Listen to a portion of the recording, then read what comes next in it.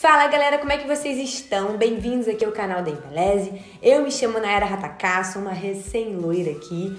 E hoje eu vim compartilhar com vocês como eu estou cuidando né, da minha raiz e dos meus fios, assim, no geral, nessa quarentena. Vamos lá? Bom, primeiro de tudo, eu acho que muita gente está se reinventando aí nessa quarentena, em cuidar do seu cabelo em casa, cuidar do seu corpo, enfim, porque a gente não tá conseguindo sair na rua e tudo mais. Então, eu já vi que um monte de gente, assim, conseguiu fazer as coisas em casa.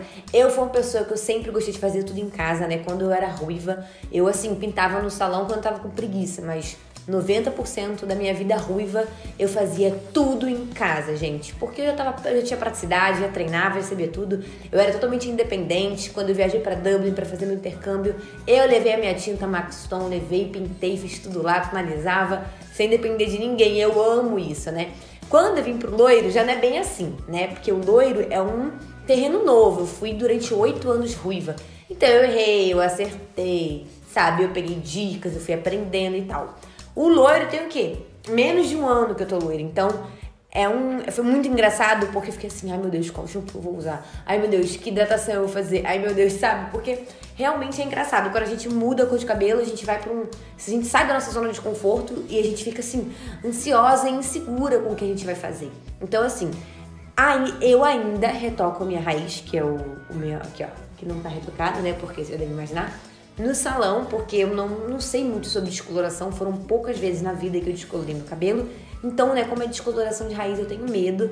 Então, quando eu vou descolorir, acabo tingindo e matizando, eu faço tudo no salão. Porém, nesta quarentena, né, todo o resto eu estou fazendo em casa. Como, por exemplo, pintar o meu cabelo aqui, hum, com a minha tinta loira platinada mais estrela, gente. Que, inclusive, tem o quê? Uns duas semanas ou uma semana e meia que eu pintei, ó. Olha aqui a cor, tá bem parecida. Acabei de pintar recentemente, tá, gente? Com porque não tem mais salão, então a gente faz em casa, né? Então eu pinto uma vez por mês com essa tinta e matizo toda semana, inclusive matizei hoje para gravar esse vídeo, ó. O Max Tone Máscara da Liberdade, loiras incríveis. Então esses dois estão sendo assim os meus parceiros assim nessa quarentena, que eu consigo cuidar em casa e tudo mais. Aí você vai me perguntar: Naima, desse vídeo sobre cuidar de raiz. Como que você está cuidando da sua raiz nessa quarentena? A sua raiz está virgem, o que, que você está fazendo? Então, gente, primeiramente, eu platino meu cabelo, né? Eu descoloro aqui a raiz e aí eu fico toda platinada, né? Tem vários vídeos aqui no canal que vocês vão me ver platinada da raiz às pontas. Então, aí você vai perguntar, qual é o tipo de manutenção que eu tinha antes? Eu retocava todo mês, todo mês. Por quê? Você vai entender por que a gente tem que cuidar da nossa raiz. Quanto mais próxima a raiz estiver do couro cabeludo, mais fácil ela vai abrir, né? Então você tem, você danifica menos e tem menos chances de você manchar com a parte que já foi descolorida, né? Com essa parte que tá aqui. Como é que você cuida da sua raiz, Nai? Usando shampoos que me ajudem e protegem o meu cabelo. E eu tô sempre intercalando, né? Eu uso um dia, no outro dia uso outro. Eu sempre tô intercalando, eu nunca uso sempre um igual. O que eu tô utilizando assim mais ultimamente é o colágeno infusão de colágeno. Gente, cheiro maravilhoso. Olha, hum, esse aqui tá novinho. Hum, ele é transparentezinho, ó. E é perfeito para cabelos porosos, sem brilho e protege, porque a gente precisa de colágeno para retocar nossa raiz, né, gente? Porque quando a gente descolora, o descolorante vai lá e acaba retirando, né, todas as proteínas, tudo que a gente coloca no cabelo. Muita gente me perguntou qual, o que, que eu fiz para cuidar do meu cabelo, como é que meu cabelo continua tão saudável depois de dois, três globais.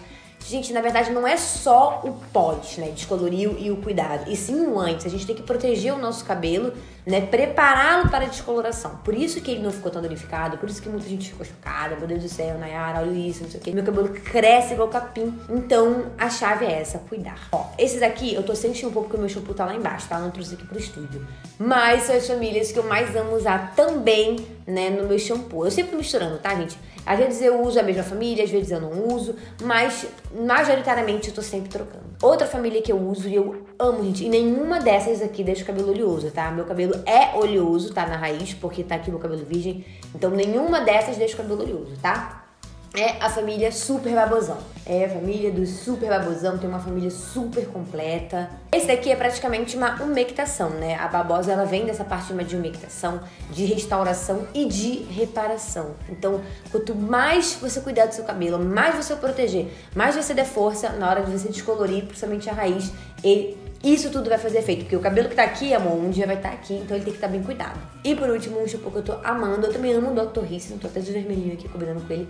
Mas o que eu tô mais usando, ó, é o óleo de abacate. O óleo de abacate também tem uma família linda, uma família mega completinha. E por que eu uso ele, gente? Porque ele tem restauração e nutrição.